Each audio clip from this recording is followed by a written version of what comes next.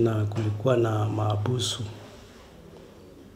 Washukiwa walikuwa wameletwa pale kwa posti, walikuwa wanashukiwa kwamba walikuwa wameiba mananasi, na askari alifyatua risasi. Hiyo risasi ikaweza kupata mmoja wa ya mshukiwa ambaye alikuwa anaitwa alikuwa anaitwa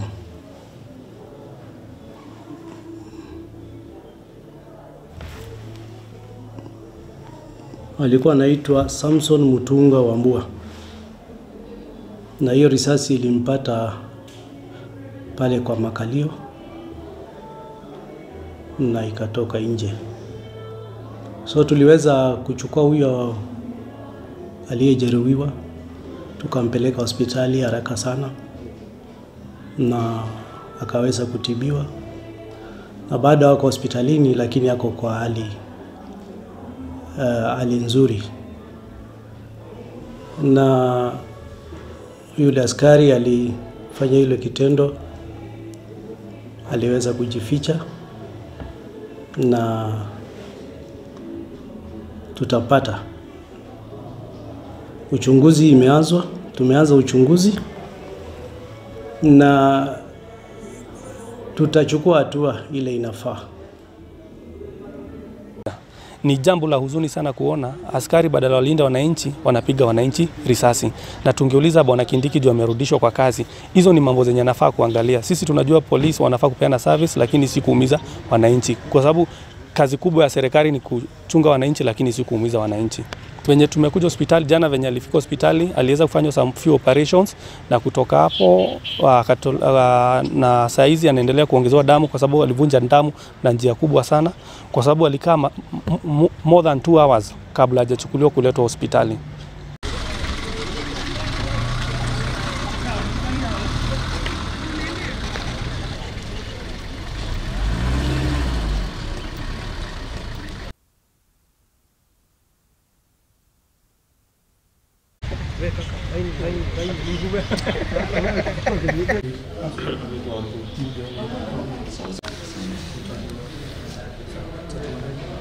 Ist gut.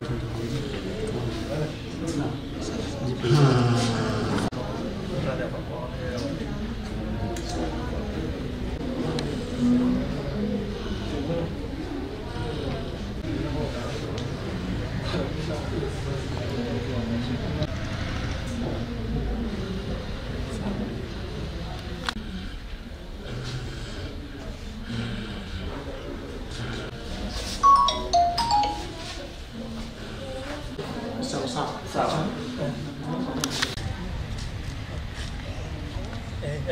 es que hay la verdad que vuelvo a decir.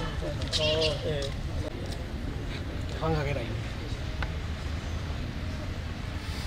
तू मैंने जॉब ये राजा जी रोटी है कितने के इंटरव्यू हो रहा है तू मैं आ रही हो माना है नहीं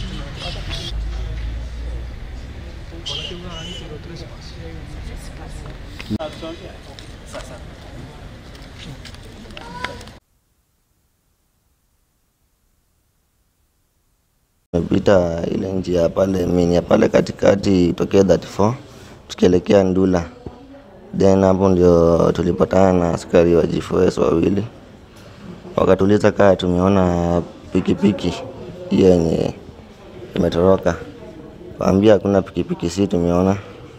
Then ghafla ndio hiyo gari ilikuja. Sasa. Huyo G4S kushuka akasema, hao ni wezi nini, wapelekwe ndani tumepitia trespass, lazima mshikiwe trespass. Tukasema ni sawa, wakatuingiza ndani ya gari, so ndo walitupeleka hadi police station tukiwa watatu. After kukaa hapo police station, ndio askari mwingine alikuja hapo, but alikuwa mlevi, akapiga huyo jamaa mmoja mwenye tulikuwa naye akaumia, ikabidi aachiliwe juu alikuwa na nose bleed. Akaona itakuwa kesi, wakamwachilia. Sasa ndio huyo askari mwingine alikuwa anasaidiana yeye, akamwacha achange akuje shift. Kumwacha hapo akae kuja huko ndani, akatuchapa akatuchapa, akitulimbia anaweza umiza mtu. Sasa hapo ndio alikuwa kubunduki akafyatua. vijana watatu walikuwa watatu vijana wamekamatiwa huko, lakini ilikuwa trespass, si ati walikuwa wamebeba kitu yoyote. Hata ile time tulienda huko ndani kuangalia, wako wamebeba kitu yoyote. Sasa baada wakipelekwa huko ndani, au makarao wakaanza kuwapiga, unaona, Wa- wakawapiga wakapiga hadi wakawaambia tunaweza waua, na hiyo si haki, si tunataka haki itendeke.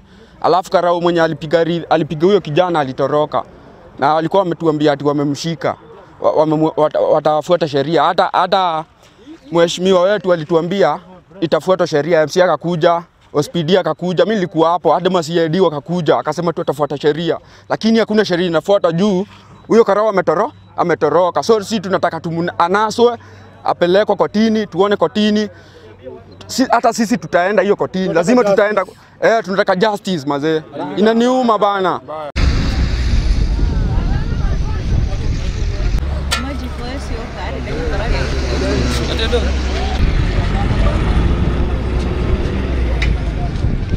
venye nikakuja nikauliza kesi ni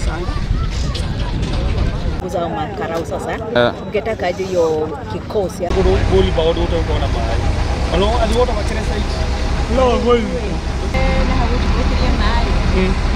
ni maroka mahali maro naprema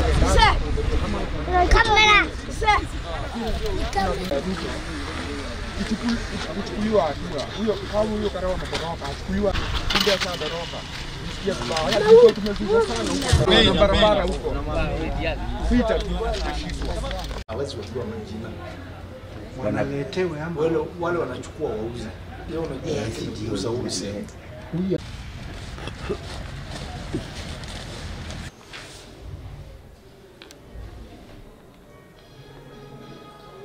Gari